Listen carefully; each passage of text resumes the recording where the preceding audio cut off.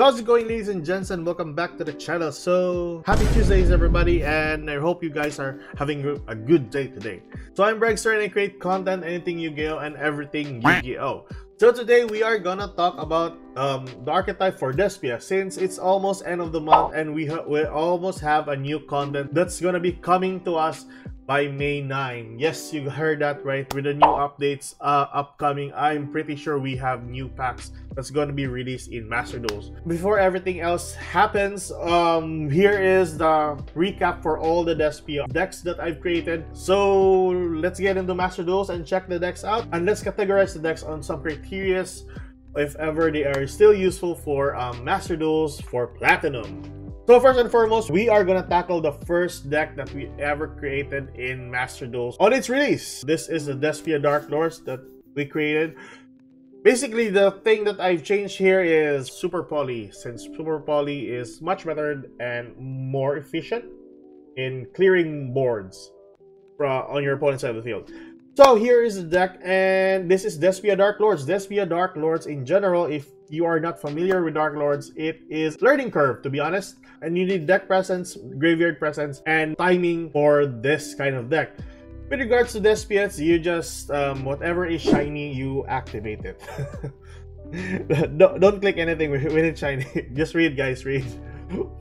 anyway, so the criteria that I'm talking about is, yeah, we'll categorize the three decks that I'm gonna show you guys on its difficulty, power, protection or negation, destruction or removal, and also their consistency eh, on the deck. If they are still the same thing if you work on that on how many games?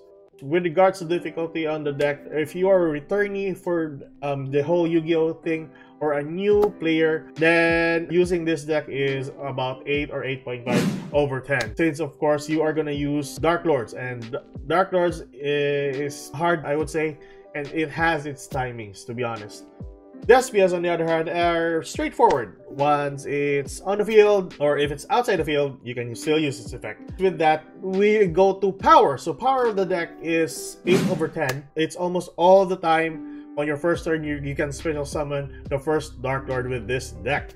And of course, this will go on or extend to other monsters which you can special summon from your hand or from your graveyard. I would say this deck is 6 out of 10 for its protection or negation since you only have your first Dark Lord, um, your Quartus, your branded opening, and your Dramaturge if ever everything is set up on the field. If that's set up, you're good for the game. You already have the advantage. But if not, then that's the problem. That's why I'm putting this on 6 over 10.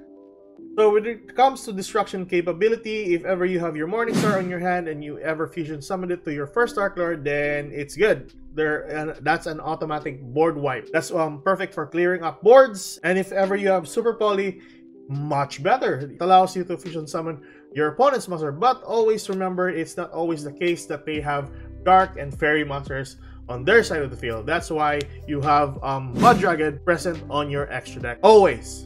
And lastly, when it comes to consistency of the deck, yes, it does um, it does its job when it comes to summoning your first starter to the field, and of course your um, fusion monsters in general. But always remember, um, branded opening locks you out to fusion summon only. So with regards to your links or your Xyz summon, that's out of the question. So let's move on to another one. So next we have here um, the Despia Dark Lords Albaz deck. So after the release of Despia and Master Duels, I've done some testings with some decks, and that means Invoke, Shaddoll, and even Dogmatika for um, to be paired greatly with Despias. Um, so far, Albaz is one of those decks that's really syncing properly since of course there's a story behind Despia and Albaz and also Dogmatika so that's why most of the cards supports each other. So what I can say with this deck when it comes to difficulty is still the same 8 over 10 since you have Dark Lords in the mix. Um, regards to power, it's 8.5 over 10 because you have your Albaz.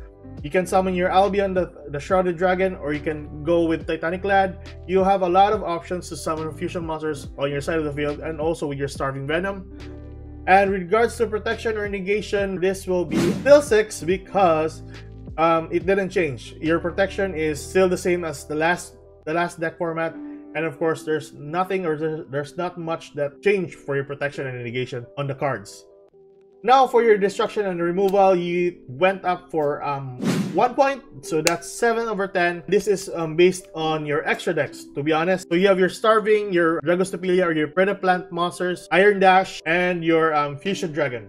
It went up for uh, a little bit, just a little bit, just because it has the same thing as last time, but with more um, fusion monsters. So I cut off a lot of Link summons and also your Xyzs just for um, a fusion or more fusion type extra decks. And not to mention with regards to removal or uh, destruction, well, just removal to be honest, since you have Albaz on the mix, um, other than your Super Poly, it gives a lot of ways to, uh, a lot of summons for your fusion monsters but of course, please remember, once um, Albaz is negated on the field, you'll be a sitting duck with just Albaz on your side of the field. I won't go up um, to 8, just 7 because it has the same um, amount of cards. Although the changes is still just on your extra deck, which is you need to summon the correct monsters to your side of the field or you do need the specific combo to special summon your um, monsters from the extra deck. So that is why. So regards to consistency, I would say it is 8 because it does what it does. Just um, removes monsters from the field. But also remember, it's not always all the time that happens. So that is the criteria for this deck. Let's go on to the next one. So this is the, the last deck that I've created so far, or the recent deck that I've created so far. So this is the Despia Albaz Synchro. So this, I removed Dark Lords because like I said on my previous video, if you are going to use Dark Lords with Synchro and Despia, it's gonna be more than 40 cards to be honest. And of course having more than 40 cards will tend to break. Anyways, so Synchro. When it comes to difficulty, I would say it will be around 7 now because there's no Dark Lords at the mix.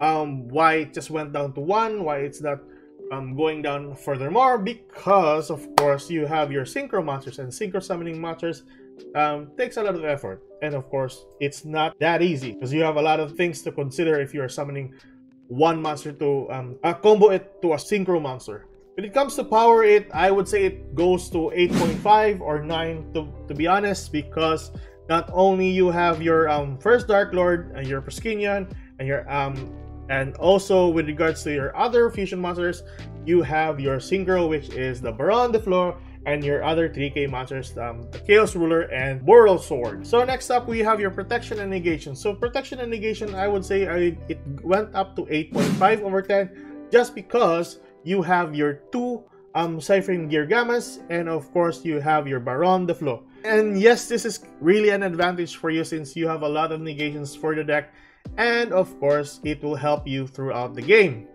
So next we have your destruction or removal. So destruction or removal, I would say it's 8 now because there are a lot of, um, for example, Borrelsword and then Baronne de Fleur, and also your um, PSY-Framegear Gammas. A lot of a lot of negations, and a lot of the same protection as the last time or the last few decks. And when it comes to the increase of difficulty power, protection and negation, and also the destruction capability, you would consider that consistency would be higher as well, but it's not.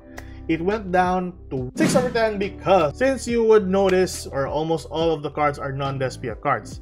Not always all the time you'll have the same cards um, when you start a game. Sometimes you would brick, sometimes you wouldn't, and you'll have a good combo.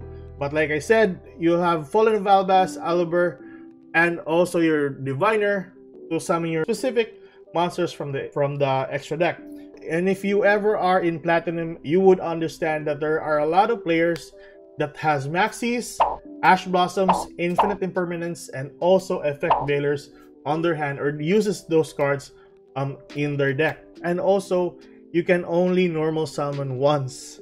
So, um, Fallen of Albaz, Aluber, and even Diviner, sorry to say, if, you, if that's negated, then your turn is over. And the game is over, of course, because some of the cases in Platinum, you only have one turn. So now you might question, what is the best deck that is going to be paired with uh, Despia overall? I would say Albaz, Despia, Dark Lords are one of the best that I would that I've created so far since it has a lot of negations, removals are okay, protection are okay, and power is okay. Consistency, it went down to a point. The deck is still okay, it's still viable, and it got me to um, Platinum 2 once. yeah, I'm still going to Platinum 3 at the moment with this deck. And it's fun, it's fun, it's fun. And yeah, having that same amount of combos, it's great. It's grand and yeah, it's really great to use this deck. And that is it for today, guys. If you like the content, please feel free to subscribe. And of course, thank you so much for watching and keep safe, good luck, have a great day to you guys. Peace out. Bye-bye.